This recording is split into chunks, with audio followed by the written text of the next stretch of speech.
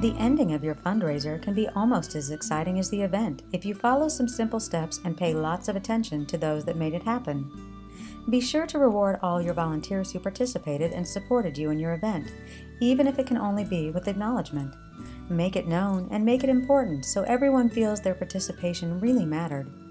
Parent volunteers can sometimes feel left off the appreciation loop, so don't let this happen. Make sure to send a personal note of your appreciation for their support.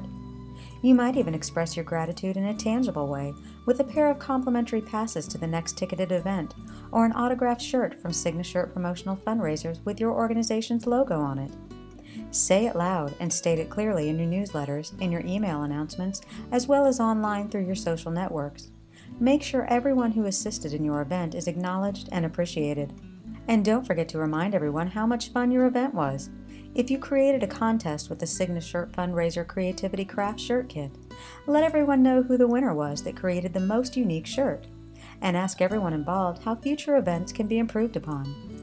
To learn how Signature Promotional Fundraisers puts the fun back in fundraisers, simply click the video link below or visit fundraiser.deco-craft.com and find out why their products are rated in the top 18% for innovation and marketability.